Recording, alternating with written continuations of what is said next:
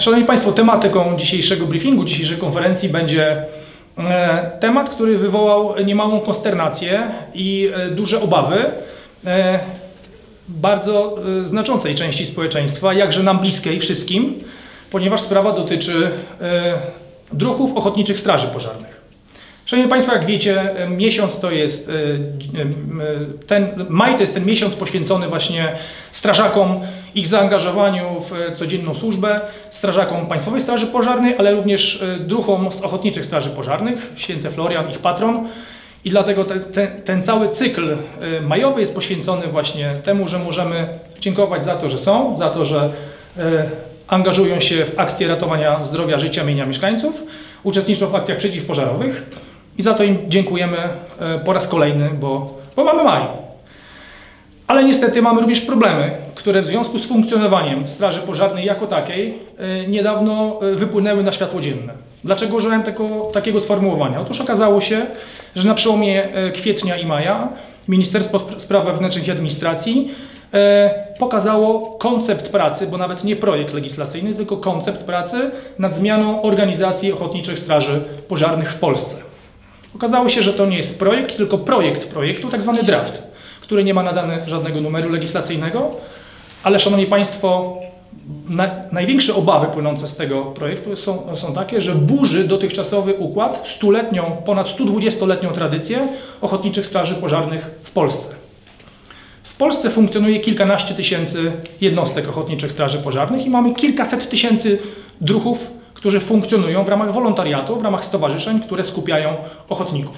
Szanowni, Państwo, znamy ich, nawet my mieszkańcy Grudziądza, bo, na, bo przy Komendzie Miejskiej Straży e, Pożarnej również działa OSP. E, Codziennie widzimy ich w akcjach, to są tak zwane charakterystyczne białe he- hełmy, którzy zajmują się e, poprawianiem, dbaniem e, e, o nasze, o nasze bezpieczeństwo. Są akcje pożarowe, przeciwpożarowe, są wypadki, zdarzenia drogowe, oni tam zawsze są.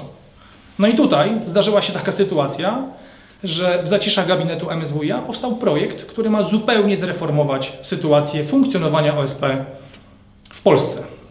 Otóż, Szanowni Państwo, e, za, zamysł jest taki. Strażak ochotnik nie będzie już strażakiem ochotnikiem, będzie ratownikiem ochotniczym Straży Pożarnej.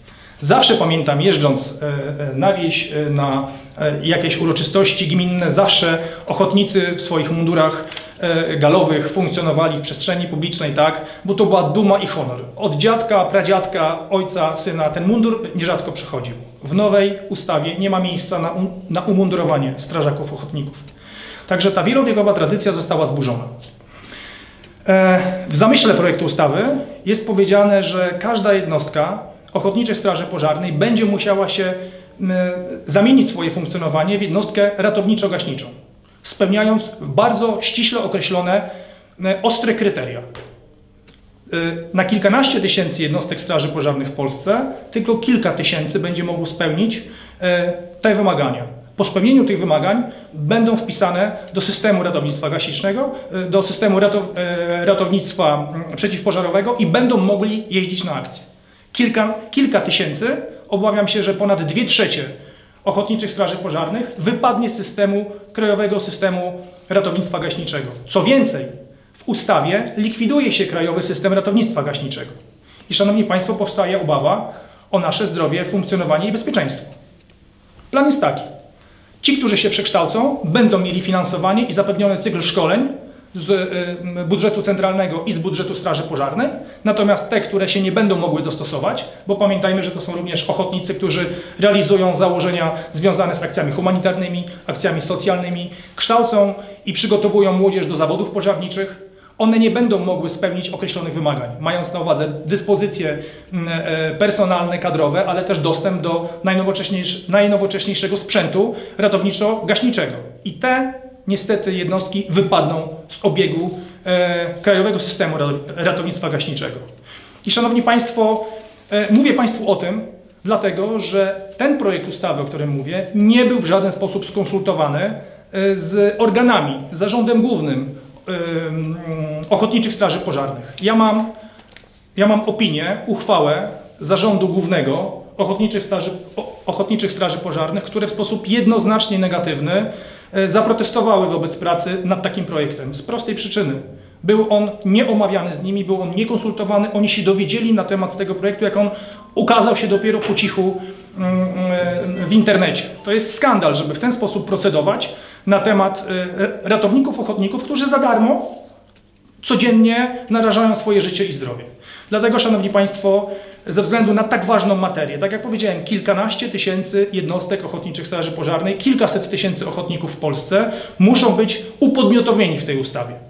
Zanim nadany zostanie druk, po z całą pewnością trafi on, ten druk, do mojej komisji, w której jestem wiceprzewodniczącym Komisji Spraw Wewnętrznych i Administracji, powinny być e, przeprowadzone szerokie konsultacje społeczne.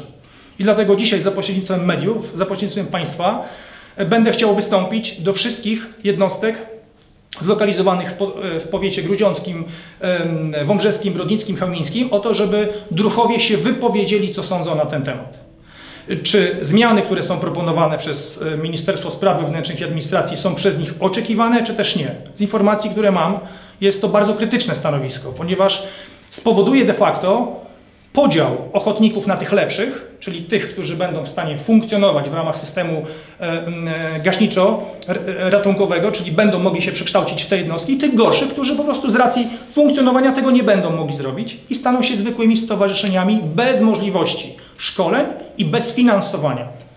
E, oczywistym jest, Szanowni Państwo, że poprzez to ucierpimy my, ponieważ w ustawie nie ma nic na temat bezpieczeństwa ludności, bezpieczeństwa ochrony przeciwpożarowej.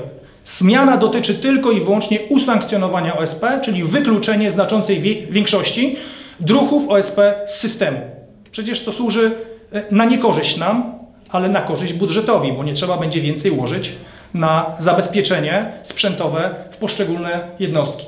Także, Szanowni Państwo, sprawa jest naprawdę pilna. Szczególnie sprawa ta powinna wzbudzić zainteresowanie e, e, u mieszkańców mniejszych miejscowości, gdzie OSP to nie tylko remiza. To nie tylko remiza. To jest ta pewność, że jak coś się stanie, to ochotnicy są w każdym momencie gotowi, żeby zaryzykować swoje życie i zdrowie, żeby pomagać mieszkańcom. A teraz rząd próbuje tylnymi drzwiami, bez ich zdania, wprowadzić taką właśnie ustawę, która spowoduje, że e, znacząca połowa z nich będzie poza systemem. I tak jak Państwu powiedziałem, już nie będzie strażaków OSP, tylko będą ratownicy OSP i nie będą mogli nosić mundurów, które będą zarezerwowane wyłącznie dla PSP. Jest to skandal, że właśnie w taki sposób e, w, w, e, w dniu strażaka de facto, w Grudziądzu mieliśmy 27 maja bodajże, tak? E, celebrowanie tego, tego święta. W momencie, kiedy odznacza się zasłużonych ochotników, z drugiej strony po cichu wprowadza się taki projekt ustawy, który de facto niweczy 120-letnią tradycję OSP. Ja oczywiście, Szanownym Państwu, przekażę ten dróg i w tym dniu rozpoczynamy konsultacje. Liczę na to, że spłyną do mnie informacje strażaków ochotników i będziemy na ten temat rozmawiać szerzej. Już 31 maja e, w poniedziałek e, klub e, Koalicji Obywatelskiej organizuje wysłuchanie publiczne. Zaprosiliśmy również oczywiście zainteresowanych, czyli strażaków ochotników, żeby się wypowiedzieli na ten temat, ale zbieramy te wszystkie opinie, ponieważ liczymy na to, że w czerwcu, może w lipcu na komisji Spraw Wewnętrznych i Administracji stanie ten projekt, zaprosimy tych ochotników i wtedy będą mogli wyrazić swoją opinię na temat tego projektu ustawy.